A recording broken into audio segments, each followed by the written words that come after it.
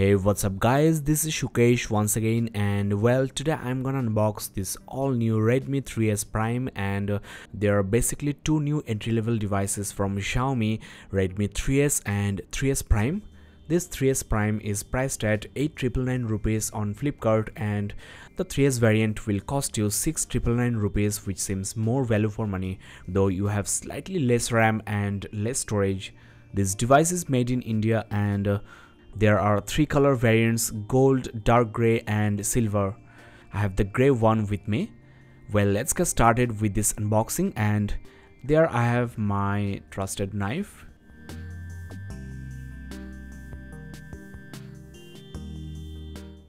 Well there you go the all new Redmi 3s Prime and it's quite a compact device with solid metal build it's very very small, it's been a while I have reviewed such a small device.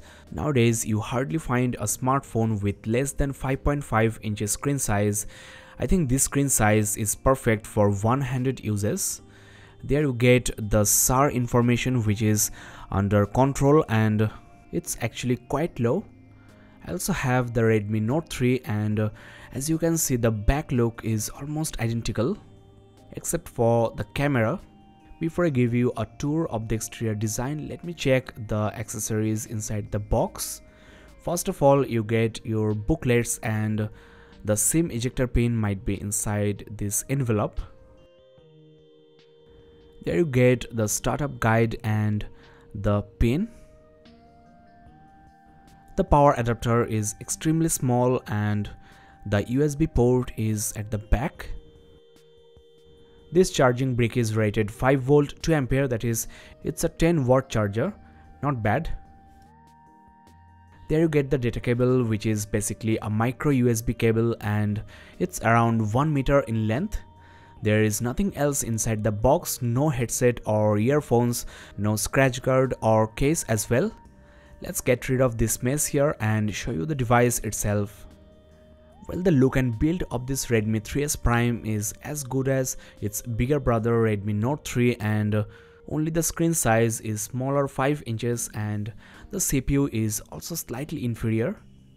This design is extremely ergonomic with rounded corners though the back is slightly slippery and as I mentioned before except for the camera there is basically no difference at all on the exterior design though the navigation keys are actually not hidden on the Redmi 3s Prime and if you are looking for a compact device with better one-handed uses and if your budget is below 10,000 rupees you can definitely get this 3s prime.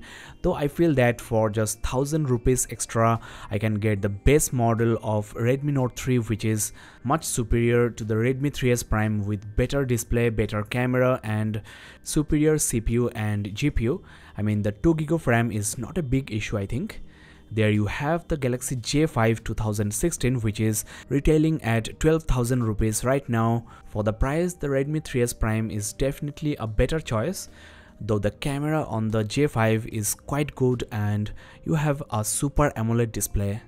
I will upload a comparison in between the base model of Redmi Note 3 and this 3s Prime. Now let's power on the device and give you a quick tour of the exterior ports and design.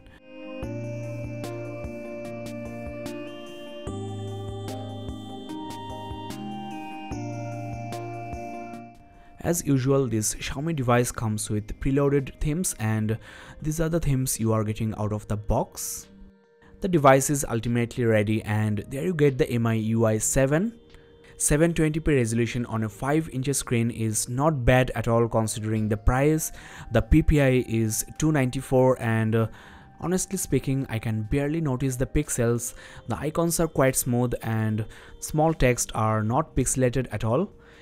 This is an IPS panel and the viewing angles are not bad but not that great as well. A full HD screen would have been really nice though I really don't have that much complaint for this HD screen. 5 inch screen is just perfect for one-handed uses. This smartphone will be more suitable for women I think. Now let me give you a quick tour of the exterior design. First of all, you get a fingerprint sensor and from my past experience, I can tell you this is a very responsive and fast sensor, works from any angle you try. there you get the primary camera which is basically a 13 megapixel shooter with full HD recording. The maximum aperture is f2.0 and this camera also incorporates phase detection autofocusing which is the fastest way to autofocus.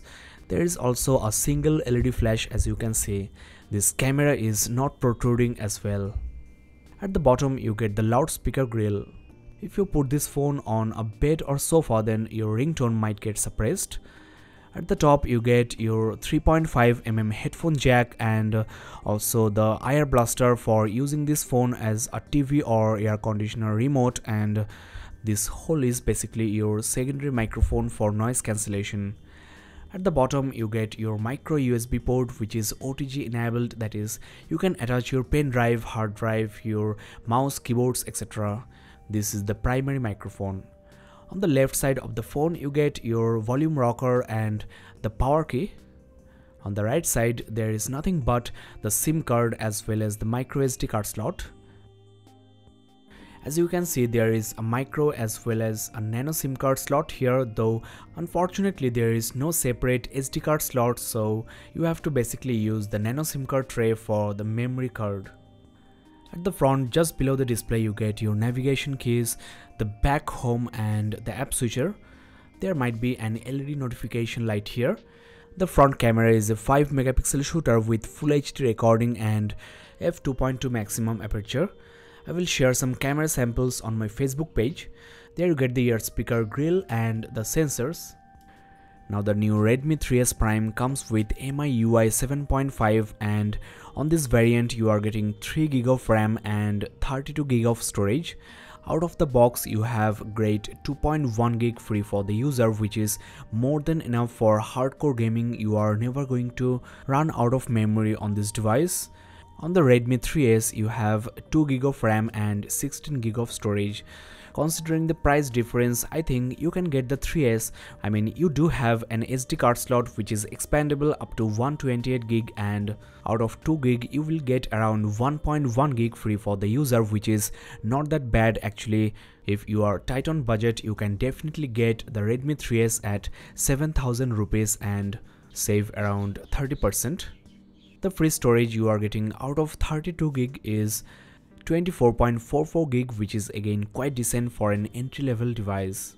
Now the MIUI is a very interesting interface with lots of hidden features though it's highly customized there is no noticeable lag and uh, on the notification toggles you will find this MI drop which is somewhat like ShareIt that is you can share files using Wi-Fi direct and as you know it's much faster than Bluetooth you have this software embedded into your smartphone so it's quite handy.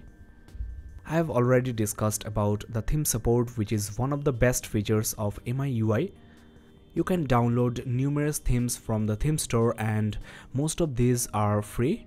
No need to rely on third-party launchers and these are the themes I have currently on the device. Let's apply this one. There you go, the icons, background, color theme, everything changed including your app interface. Now let me show you some cool features of this MIUI. First of all, you are getting this call recording option and what's most interesting is this record calls automatically that is you can record the incoming calls from your favorite contacts automatically and uh, let me show you a few more nice options. Under incoming call setting, you get these nice options like flip the phone to silent ringtone and also when you pick up the device, you can enable flash notifications when ringing and also mute the first ring for calls from unknown numbers. Let's hit the settings menu and under display settings you'll find this reading mode which you can manually control and this mode will help you get better sleep as well. There is also a child mode that is you can allow certain applications for your kids and lock the device with a password. If you are lending this device to your friends for the camera, this will also help. Now though this 5 inches screen size is small enough for one-handed uses, if you want you can actually enable this one-handed input option that is you can shrink the display to your right or left. Just swipe from home to back or home to app switcher. You can even control the notification light color for your incoming calls and messages. The LED is just below the home key as you can see. Well, in this unboxing video, it's not possible for me to show you all these great features, so stay tuned for the full review and don't forget to subscribe. As you can see, there are some tools preloaded including this MI remote for your TV, air conditioner, sound system, etc. There are some bloatware preloaded as well, but fortunately you can uninstall this. Now I've run some benchmarks and also installed these games. If this device can handle these two games smoothly then you can play almost all the hardcore games available on the Play Store. The 3D Mark Gamers benchmark score is not exciting, it's quite mediocre, but considering the price this is quite reasonable.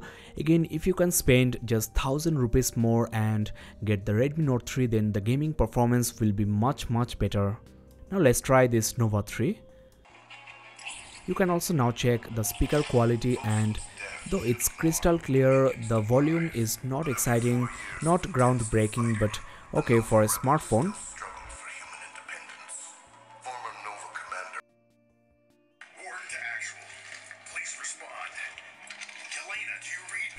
The display is looking quite crisp and no pixelation at all. So far there is no lag but this is just the intro. You might already know this device sports octa-core Cortex-A53 1.4 GHz processor with Snapdragon 430 chipset. The GPU is Adreno 505. Of course, for the price, these specs are quite exciting. In addition to that, the battery is crazy 4100 lithium ion polymer and this should provide you at least 3 full days backup on normal to heavy uses. On the full review, I will talk more about the battery and also overheating if there is any. Now let's concentrate on the gaming and so far there is no lag, everything is super smooth and I'm somewhat surprised actually there is not a single lag or hiccup I'm facing. Actually the thing is the resolution of this phone is 720p and the GPU has to push this lower resolution so you are getting this great gaming experience. So guys, if you are into gaming, don't worry, you won't be disappointed.